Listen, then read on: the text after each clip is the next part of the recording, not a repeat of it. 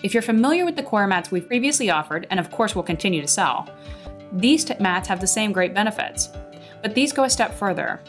These mats are handmade using longer coir fibers that are hand spun and woven on a loom. The longer fibers not only reduce the shedding we sometimes see with this kind of material, but they also give these mats a full 1 inch height for a more impressive look and longer durability. It also means that these mats don't need the typical rubber backing. Instead, the back is fully woven with handcrafted knots that secure the fibers. These new woven back mats are 18 by 30 inches, which are larger than our traditional coir mats.